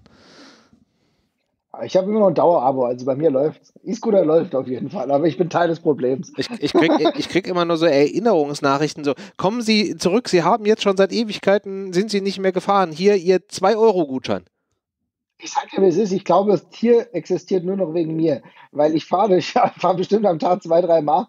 Äh, also das muss ich sagen, ist immer noch ein sehr wunderbares Fortbewegungsmittel. Ich habe halt auch dieses, diese 5 Euro im Monat, wo ich dann nicht mehr diese 1 Euro Aktivierungsgebühr pro Fahrt zahlen muss. Ne? Deswegen, also für mich ist es hier ein Traum. Du bist halt auch so ein Tier, Marvin. Der lag da offen auf der Straße neben dem E-Scooter rum, den musste ich mitnehmen. René Aber es ist halt echt so, ne? Patricia sagte, ich hätte so, ich hätte so gern wieder die Probleme wie der Wolf kommt in die Stadt oder irgend sowas. Ja. Oder die Wildschweine sind da. Mit dem würde ich gerne mal kurz sprechen, mit diesen Wolfsgegnern, Alter. Und? Du, kann, du kannst mal mit dem Wolf sprechen. Was meinst du, wie der sich jetzt fühlt, nachdem der so wenig Aufmerksamkeit momentan kriegt? Ja. Ich glaube, dem Wolf geht es aktuell gut. Hast du nicht mal Shirts gemacht? Ja, ich habe Shirts gemacht. Ja, siehst du, Corona hat mir mein Wolfsshirt-Business kaputt gemacht. ja. ja. Aber ich muss auch sagen, man kommt auch sehr, sehr schwer in diese äh, Anti-Wolf-Facebook-Gruppen rein. Also da musst du wirklich so fünf Fragen beantworten und so Kram. Das war mir dann meistens zu anstrengend. Wie geil. Also die, Wolf, die Wolfsgegner sind ein sehr eingeschränkt. Quasi, quasi so, ein Auf, so ein Aufnahmetest, ob du wirklich einer von ihnen bist und nicht irgendwie so ein, so ein ja, verkappter Tierschützer, der sie da unterwandern will, quasi. Genau, da sind die schon sehr, sehr hinterher, dass das nicht passiert. Krass. Habe ich noch nie versucht, werde ich jetzt auch nicht, weil äh, wahrscheinlich ich bei den Fragen scheitere. Habe ich mir das schon mal gespart. Vielen Dank dafür.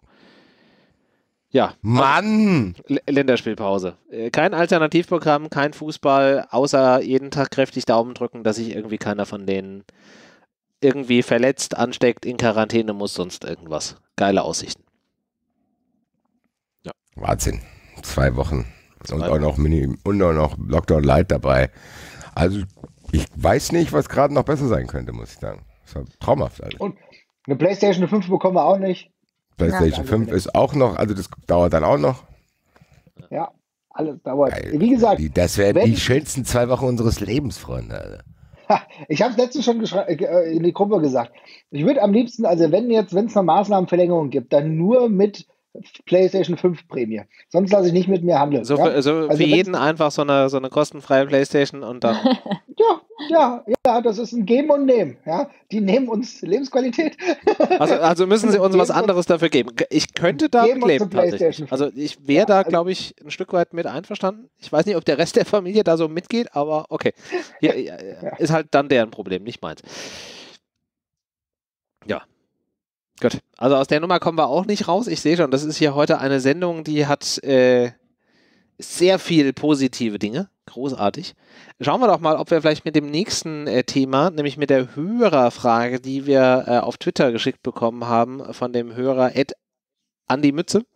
Und zwar schreibt er uns folgendes. Mich würde eure Perspektive aus SGE-Sicht sehr interessieren zum Themenkomplex Zukunft Profifußball.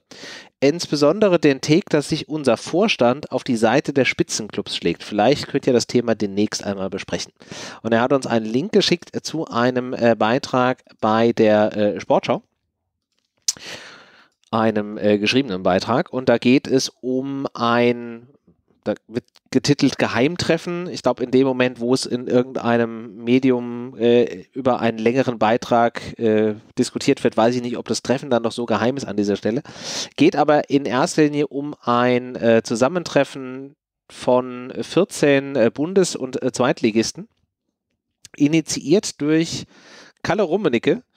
Ähm, ohne DFL, ohne DFB vor Ort in äh, Frankfurt am Flughafen ähm, und geht hauptsächlich einmal um das Thema Nachfolge vom DFL-Chef äh, Seifert im Juni 22, äh, Stärkung DFB-Präsident Fritz Keller dann auch um das Thema, ähm, welche Maßnahmen man jetzt gemeinsam in dieser Corona-Krise noch machen kann. Und der letzte Punkt, wie man mit dem Thema umgeht, das ja ab der Saison 21-22 ist, einen äh, geringfügig geringer ausfallenden äh, Fernsehvertrag gibt.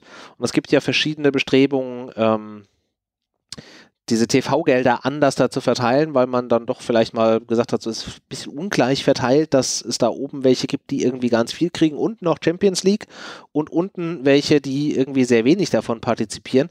Und das Spannende ist, dass ausgerechnet die Vereine, die dieses, ähm, diese ja, ich finde, wie soll man das nennen, dieses Ideenpapier mal ausgearbeitet und unterschrieben haben und der DFL für ihre Dezember-Sitzung ähm, mal so zur Diskussion gegeben haben, nämlich Mainz, Stuttgart, Bielefeld und ich glaube Augsburg war es noch.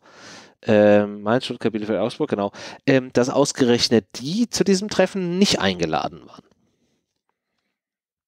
Ja, das ist so das, was da äh, im Großen und Ganzen drinsteht. Ich weiß nicht, habt ihr euch mit dem Thema schon beschäftigt? Ja, also ich, ähm, mich hat ein bisschen gewundert, dass Stuttgart nicht dabei ist. Die anderen Vereine, muss ich sagen, ja, meine Güte, äh, ist vielleicht nicht hier die feine englische Art, aber die sind, glaube ich, ja, keine Ahnung, da setze ich mich jetzt in irgendein Nest, aber ich weiß nicht, ob die so wichtig sind. Ja. Stuttgart ich, ist zumindest laut dem Artikel nicht dabei, weil sie ja gemeinsam mit Mainz, Bielefeld und Regensburg diese Idee dieser Andersverteilung der Fernsehgelder ähm, ausgearbeitet haben. So wird es zumindest in dem Beitrag beschrieben. Ja, ich glaube, ja, das ist jetzt schwierig, weil das ist auch wieder so ein Ding, wo ich leider jeden enttäuschen muss, der hier eine klare Meinung haben will. Weil man kann, glaube ich, die Eintracht dafür kritisieren, dass sie sich da den Spitzenclubs anschließt, aber man kann es aber auch andererseits verstehen, weil die, glaube ich, trotzdem einfach in die Gespräche rein wollen. Das kannst du vielleicht so ein bisschen damit vergleichen, wie wenn die Grünen mitregieren, so von wegen, ja gut, bevor wir vielleicht gar nichts machen, äh, gucken wir, dass wir wenigstens Teile durchsetzen können, bevor gar nichts geht werden dann aber auch oft kritisiert, weil die halt nicht alles durchsetzen können. So. Ich glaube, ich tendiere eher dazu, dass ich gut finde, dass die Eintracht da zumindest mit verhandelt oder sich mit irgendwas ausdenkt, weil es muss auf jeden Fall was passieren. Und ich glaube auch, dass du zum Beispiel mit Bayern München leichter verhandeln kannst, als man denkt. Weil die, glaube ich, von diesen Fernsehgeldern, meine Güte, das ist nicht mehr das, worauf die angewiesen sind, sondern die brauchen Champions League Geld, da wird es immer mehr Cash geben, bla bla. Und dann musst du halt gucken, wie du das machst. Und ich hoffe ehrlich gesagt, das ist jetzt nur meine Hoffnung, dass die Eintracht ein bisschen da auch Druck macht, zu sagen, okay, wir müssen bei den Fernsehgeldern auf jeden Fall einen Faktor reinbekommen, der berücksichtigt, wer überhaupt dafür sorgt, dass Leute sich Abos kaufen oder die Sachen schauen. Weil das ist mir schon seit Jahren ein Dorn im Auge, dass Hoffenheim und Wolfsburg einfach Fernsehgelder kriegen, obwohl die faktisch kein Fernsehgeld verdient haben, weil es halt keiner schaut. So, das ist so, da muss, das ist halt so. Also es tut mir leid. Also es ist, tut mir leid, dass Hoffenheim und Wolfsburg überhaupt irgendwas aus diesem Fernsehgeldpot kriegen, ist halt eine Frechheit theoretisch gesehen.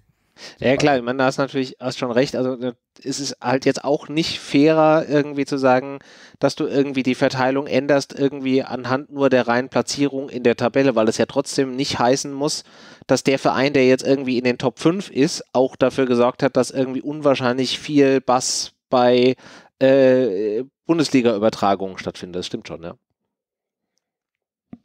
Also ja, aber ansonsten, keine Ahnung, du hast schon gesagt, das ist ein Geheimtreffen. Wir werden nicht alles wissen, was da besprochen wird.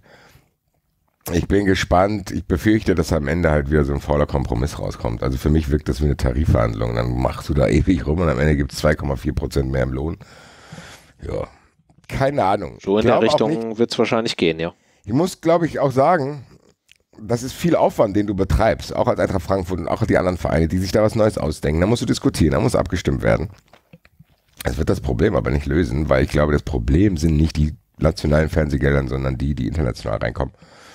Die sorgen dafür, dass Vereine einfach nicht mehr einzuholen sind, wenn die, wenn du im internationalen Wettbewerb beziehungsweise eigentlich nur in der Champions League so viel Cash kriegst, hm. dass diejenigen, die dann national dabei sind, ja, die halt schon äh, einfach meilenweit unterlegen sind. Das heißt, du verhandelst hier quasi, ob die Eintracht vielleicht mal drei oder vier Millionen Euro mehr kriegt. Was cool ist, klar.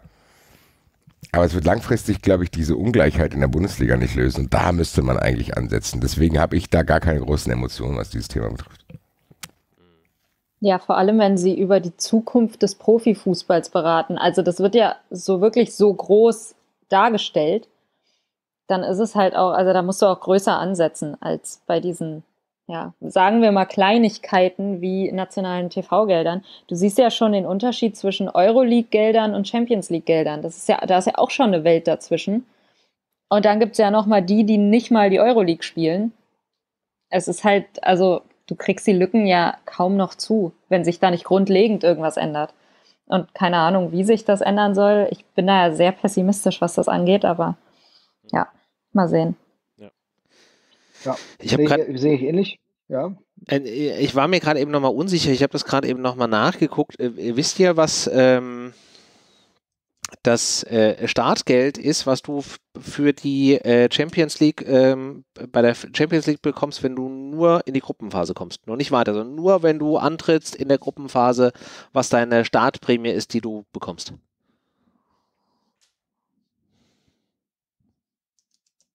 Wisst ihr nicht. Gut. Ach, das war eine Frage. Ich das war eine Frage, deswegen war da ein Frage. Erzählst uns das jetzt? Das habe ich nicht rausgehört, das Fragezeichen. Die Startprämie für die Champions League. Ja. 25 Millionen Euro. Ja, ist ein bisschen hoch. Es sind 15,25. Aber allein das kriegst du nur, wenn du in die Gruppenphase kommst. Ich glaube, so viel wirst du über die TV-Gelder nie im Leben reinkriegen. Ja, doch, klar kriegst du so viel rein, aber das ist halt dann. Ja, top. aber. Du, ich meine, die Differenz kannst du halt nicht mehr ausgleichen. Genau, das, einer, das meine ich ja. Also, Bayern, holt sich, Bayern holt sich 100 Millionen Euro aus so einer Champions League-Saison eventuell. Ja. So, was soll ich da jetzt machen? Da ja. bringt es mir auch nichts, wenn die Bayern jetzt gütig sind und sagen, wir verteilen das bisschen gerechter. Und du kriegst dann halt mal, weiß ich nicht, 2,5 Millionen Euro mehr von diesem Geld. Äh, ja, vielen Dank. Klar, ich, nee, ich, ich will es auch gar nicht kleiner reden, als es ist. Ich wollte es nur in den Gesamtkontext setzen was du überhaupt für einen Aufwand betreiben musst, dass sich da was tut und was der Ertrag dann sein könnte. Das meinte ich nur. Das ist, glaube ich, das, was ich äh, aussagen wollte. Was ist ja eben gesagt. Ja. Champions League, das Startgeld ist ja nicht mal das Großartige. Du kriegst dann Punktprämie, du hast Zuschauereinnahmen, bla. Also. Ja, zusätzlich Merchandise, was du irgendwie äh, Muss mal gucken, was man da macht. Nur mal ganz kurz, ich würde, wollte, ähm, natürlich können wir jetzt noch weiter über die Champions League sprechen, aber wir wollen noch mal ganz kurz zu diesem Zusammentreffen ähm, was ja auch die Userfrage war, wieder nochmal darauf zurückkommen. Äh, ja. Finde ich es interessant, dass es dieses Treffen gibt. Ähm, die Tatsache, die ich glaube ich immer noch sehe, deswegen bin ich trotzdem verwundert, dass nur ein Teil der Bundesligisten oder ein Teil dieser, die, die G15, wenn man sie so nennen will, was ich auch ein bisschen plakativ finde, ähm, dass die jetzt da zusammenkommen. Äh, ich gehe aber eigentlich davon aus, dass sie auch das Nähere zumindest indirekt ansprechen werden. Und ich gehe weiterhin davon aus, dass auch die äh, sehr darauf drängen werden, ähm, in dieser, in der ganzen Corona-Sache da nochmal ein bisschen vielleicht geeinter ihre Stimme irgendwie äh, zu hören. Das kannst du ja gerade oder hören zu lassen. Das kannst du ja gerade auch wahrscheinlich gesellschaftlich oder gesellschaftspolitisch nicht regeln. Aber ich glaube, dass die dementsprechend auch durchaus ein Interesse daran haben, mit einer Stimme dann zu sprechen, wenn die Zahlen wieder sinken, weil du merkst ja, du merkst ja den Drang für viele Bundesligisten, bald möglich doch wieder zu starten, insofern, dass du ähm, Fans irgendwann wieder reinlässt. Ne? Wie gesagt, momentan ist es mit einem klaren Kopf nicht so einfach durchzusetzen. Aber ich gehe schon davon aus, dass die auch da das ein oder andere mal darüber sprechen werden. Denn äh, wenn wir hören, was auf Schalke los ist, was bei einigen anderen Vereinen auch ähm, finanzieller Situation los ist, ich gehe davon aus, dass das geheime, brisante Treffen nicht nur die Zukunft der Bundesliga oder ähm, ja betreffen wird, nicht nur die TV-Verteilung, sondern tatsächlich auch diese Thematik abbilden wird. Ja, also das, was Sie, also was man auch in dem Beitrag ähm, beschreibt, und ich glaube tatsächlich auch, dass das so der der drängendste Punkt äh, ist, sich zu überlegen, was haben wir an Möglichkeiten, wie können wir auf diese Situation und auf eventuelle Vorgaben äh, reagieren, um den, den Einnahmenausfall, der ja unweigerlich oder unzweifelhaft da existiert, dem so ein bisschen entgegenzuwirken. Und allein deswegen auch auf die Frage nochmal zurückzukommen, wie wir das aus, aus Eintracht-Sicht sehen, ähm, allein deswegen schon musst du eigentlich an, wenn du die Möglichkeit hast, an dieser Diskussion teilzunehmen, das dann halt auch wahrnehmen, weil du da ja auch eine gewisse Verpflichtung gegenüber ähm, äh, dem Unternehmen Eintracht Frankfurt auch hast, auch da alle Möglichkeiten irgendwie wahrzunehmen, um da auch irgendwie von zu profitieren. Ja, äh, ja wie gesagt, also ich finde, was ja jetzt sehr gut beschrieben, ich finde es kein Problem, dass die Eintracht daran teilnimmt. Ähm, die müssen auch sehen, dass die sich dementsprechend so positionieren, damit es für die irgendwie ähm, auch Liga intern irgendwie so ist, dass sie möglichst profitieren. So ist es halt. Und der andere ist trotzdem noch ein Verein, äh, der wird äh, weiterhin relativ viele Fans haben, selbst nach der Corona-Pandemie.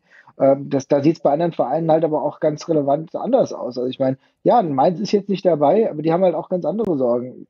Ich bin froh, dass die Eintracht nicht, nicht eine Sorgenidentität hat mit Mainz. Ja, ja das stimmt. Ist echt so. Jo. Gut.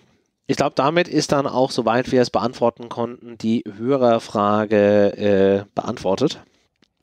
Falls ihr trotzdem noch weitere Fragen habt oder zu diesem Themenkomplex noch weitere Beiträge findet mit äh, Punkten, die wir jetzt hier noch nicht beurteilt oder noch nicht besprochen haben, dann freuen wir uns natürlich sehr, wenn ihr uns die zuschickt per Twitter, Facebook, Instagram, E-Mail, whatever. Ihr findet alle unsere Kontaktmöglichkeiten auf diesem äh, Webseiten-Dings. Ne? Ja, gut. Und dann würde ich sagen, ähm, gehen wir schon zu den Empfehlungen und biegen auf die Zielgerade ein, weil so wahnsinnig viel gibt es ja diese Woche nicht zu besprechen, weil wir ja schon festgestellt haben, kommende Spiele der Eintracht gibt es keine. Von daher können wir euch jetzt hier keinen Ausblick liefern. Aber vielleicht können wir euch ein bisschen Alternativprogramm in Form von äh, Empfehlungen für diese äh, Länderspielpausenzeit geben. Ich suche jetzt hier gerade nochmal den Empfehlungsjingle, der ist hier und los. Jetzt kommen die Empfehlungen von und mit René, Basti, Marvin und Dennis.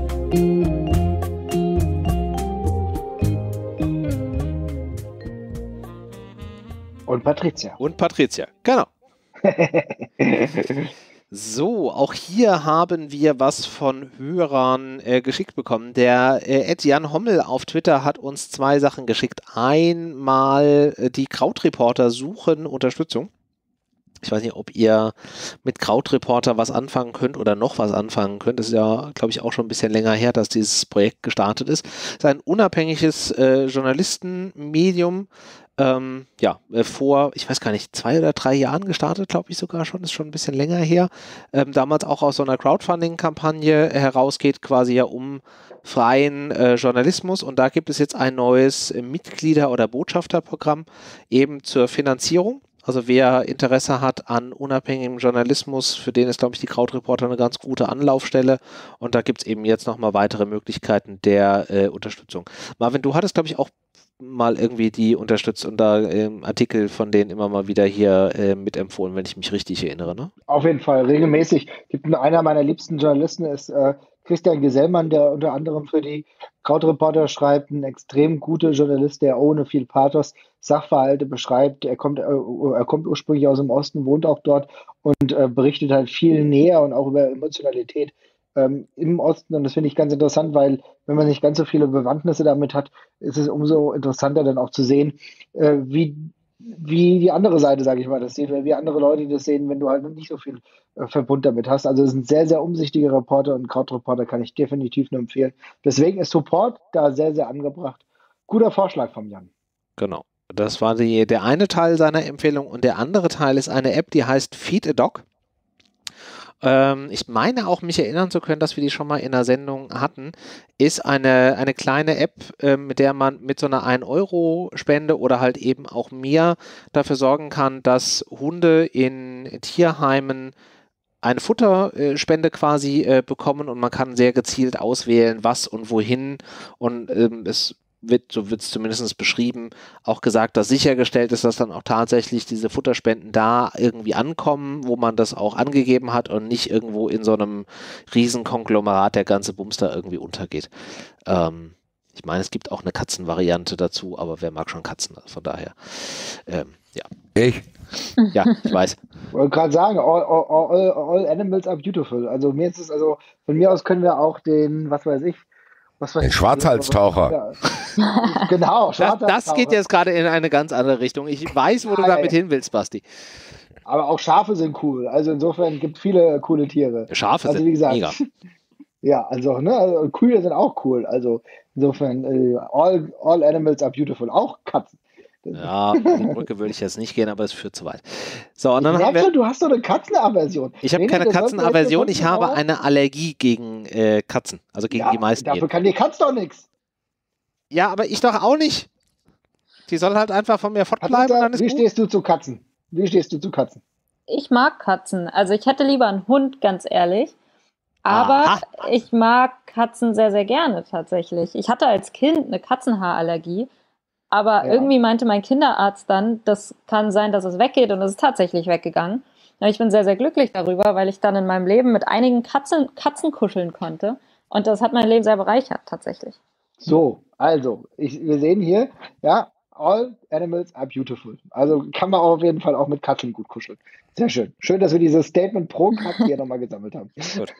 Dann haben wir jetzt noch ein äh, weiteres Statement oder eine weitere Empfehlung vom Andreas und das ist auch ein mittlerweile ähm, gern gesehenes äh, ein gern gesehener Gast, zumindest mit seiner Empfehlung. Er erinnert uns nämlich wieder an das Projekt äh, 200 Plus. Das haben wir in den letzten Jahren hier auch schon regelmäßig erwähnt. Geht nämlich um das Sammeln von Weihnachtspäckchen von Kindern in Not. Da gibt es ja verschiedene Anlaufstellen, wo ihr diese Päckchen dann äh, abgeben äh, könnt. Also geht um kleine Geschenke bis maximal irgendwie 10 Euro, die ihr dann dort ver verpacken könnt und abgeben könnt. Geht eben darum, dass Kinder an verschiedenen Stellen, die keine Weihnachtsgeschenke bekommen, damit dann zumindest so ein bisschen die Möglichkeit haben, an so einem, ja, an so einer Weihnachtsexperience teilzunehmen. Ähm, ich verlinke euch die Webseite, da ist das alles nochmal beschrieben und auch die Stellen, wo ihr die abgeben äh, könnt. Und ich finde das generell schon eine gute Aktion und ich glaube, in dem Jahr, wo alles sowieso total triste und doof ist, ist es doppelt wichtig. Ja, also von daher hier nochmal erwähnt, das Projekt, zwei, äh, Projekt 200 plus, so rum. Genau. Super. Genau, und dann habe ich noch eine äh, Empfehlung, das, ähm, ihr erinnert euch vielleicht noch, das ist jetzt schon ein bisschen hier. Wir haben an diesem, wie heißt das, Grand Prix de la Vereinslieder Song Contest beim Millanton äh, mitgewirkt. Das ist ja dieser quasi die Abwandlung des Eurovision Song Contest auf die verschiedenen Vereinslieder. Da gab es ja verschiedene Halbfinalabstimmungen für dritte Liga, zweite Liga, erste Liga. Und jetzt ist die finale Abstimmung dabei und natürlich, wie sollte es auch anders da sein, ist äh, Tankard, Schwarz-Weiß wie Schnee, was wir ja ins Rennen geschickt haben, dort mitvertreten. War absolut klar, dass wir so weit kommen. Ähm, ja, und jetzt geht es quasi um die finale Abstimmung. Die läuft jetzt bis zum, lass mich gerade gucken, 22. oder 23. November. Wo ist der Beitrag? Da. Bis zum 22. November, 23.59 Uhr kann abgestimmt werden. Und äh, ja, die ähm, Finalplatzierungen werden dann in so einer Art Adventskalender ab, der erst, ab dem 1. Dezember auf der Seite von Millanton veröffentlicht. Und natürlich ganz klarer Aufruf an euch da draußen. Geht auf die Seite, stimmt ab. Ihr findet das Voting ganz am Ende vom äh, Beitrag auf dem Millanton und ja, stimmt für die Eintracht ab. Es gibt nichts anderes und dann gucken wir mal, ob wir es mal zumindest in die Top 3 schaffen. Das wäre mal das Minimalziel. Ja, wenn die Eintracht schon kein klares Saisonziel hat und kein Konzept, dann haben wir das, bringt schwarz-weiß wie Schnee in der Abstimmung bei Millanton mindestens mal in die Top 3. Das ist eine ganz klare Hausaufgabe für euch da draußen. Jo. So, und jetzt seid ihr dran. Jetzt habe ich genug erzählt, jetzt könnt ihr mal hier empfehlen und ich schreibe das hier mal alles auf.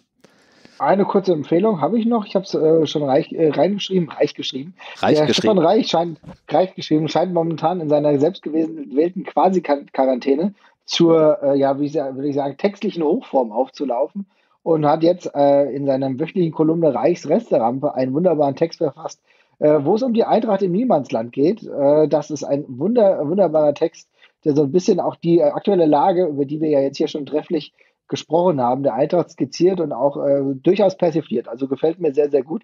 Kann man sich momentan alles sehr, sehr gut vom äh, Stefan Reich-Ranitzky anschauen, anlesen auf jeden Fall. Äh, lohnt sich, lohnt sich. Äh, also es, es, gibt ja Dinge, äh, gibt ja viele Leute, die in der selbstgewählten Quarantäne nicht viele äh, sinnvolle Dinge produzieren. Er gehört zu den Leuten, die anscheinend ganz gut ohne menschlichen Kontakt auskommen können.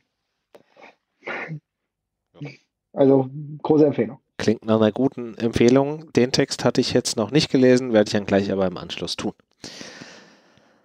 Basti, Patricia, was habt ihr noch äh, Empfehlungen, damit unsere Hörerinnen und Hörer hier die Länderspielpause überbrücken können? Lass mich überlegen. Ich weiß es gar nicht. Ich, ich empfehle alle anderen Texte von Stefan Reich noch. Nee, keine Ahnung. So, ich einfach alle anderen. alle anderen. Alle anderen. Alle, alle, anderen. Ihr sucht jetzt das Internet danach ab und dann findet ihr genug Material. Er hat ja auch Bücher geschrieben. Ja. Er hat ja auch Bücher geschrieben. Also so. Äh, wir haben da noch nicht mal Geld dafür bekommen, dass wir da so pluggen. Am liebsten würde ich die Magic Walls von CNN empfehlen. Die würde ich auch ganz gerne selber haben. Damit kann man ja tolle Sachen machen in der letzten Zeit. Ja, so Binge-Watching gemacht. Aber wenn ihr noch was anderes Amerikanisches gucken wollt, könnt ihr AEW Full Gear also Wrestling äh, gucken hat sich sehr gelohnt. Der Pay-Per-View war einer wirklich der besten in diesem Jahr. Auch mal wieder mit ein paar Zuschauern. Das hat sich dann sowieso auch ganz gut angefühlt. Ja, die WWE-Alternative bleibt stabil, muss man sozusagen. So ein kleiner Wrestling-Tipp. Jetzt bin ich aber wirklich still. Okay. Ja, ich bin immer noch bei meinem Union Berlin Buch. Also ich habe noch nichts Neues, was ich euch empfehlen kann in dem Bereich. Das mit The Queen's Gambit habe ich auch schon empfohlen, glaube ich. Das hatten wir letzte Woche, jawohl. Ja, Leute, ich kann auch nicht jede Woche immer neue Sachen machen. Ich bin jetzt erstmal damit beschäftigt. Äh, vielleicht habe ich noch eine kurze äh, Prä-Empfehlung. Ähm, ich äh, setze sehr große Hoffnung, äh, um hier nochmal ein bisschen Druck aufzubauen, auf die Fun Friends-Folge ähm, der Kollegen von 93, die ihr wann am Mittwoch raushaut zum Thema US-Wahlen. Ich ho hoffe, dass das Thema da nochmal auf eine etwas humoristische Art und Weise aufgearbeitet wird. Das wäre zumindest mein Wunsch. Haben wir probiert, ich bin aber zwischendrin ausgerastet. Äh, noch besser, noch besser. Kann es ja nur großartig werden. Ja, also wenn ihr noch nicht Fun Friends seid und äh, nachdem ihr uns hier unterstützt habt, noch äh, und natürlich hier äh, Weihnachtspakete für Kinder gekauft habt, noch ein bisschen Geld übrig habt, dann könnt ihr nochmal bei den Kollegen von 390 vorbeigucken und da noch was in den Fun Friends Hut werfen. Ich glaube, die freuen sich auch. Ja. Yes, sir dann würde ich sagen, haben wir es für diese Woche geschafft, soweit es ging, uns versucht mit diesem Thema äh, Fußball und dem, äh, dem, was die Eintracht da auf den Platz bringt, äh, zu beschäftigen. Wir müssen euch jetzt leider in diese fußballfreie oder in diese Bundesliga-freie Zeit, in diese Länderspielpause entlassen, um das nochmal hier an dieser Stelle erwähnt zu haben. Es tut uns sehr, sehr leid. Solltet ihr, ähm, weiß ich nicht, lustige Erlebnisse, sonstige Erkenntnisse in dieser Länderspielpause haben, die es wert sind, hier zu erwähnen, dann freuen wir uns über Feedback und freuen uns über ganz viel Unterstützung von euch. Wir werden uns in der nächsten Woche wieder melden und dann mal so ein bisschen nach vorne schauen auf den nächsten Gegner der Eintracht und wie sehr wir uns darauf freuen oder auch nicht. Vielleicht liest Basti auch einfach lustige äh, Hate-Tweets äh, vor, die er von Leipzig-Fans bekommen hat. Mal gucken, wir wissen es noch nicht genau. Wir werden uns aber auf jeden Fall irgendwie mit dem Thema des nächsten Gegners auseinandersetzen. Wir wünschen euch bis dahin eine fußballfreie, eine schöne Bundesliga-freie Zeit und macht's gut. Bis dann.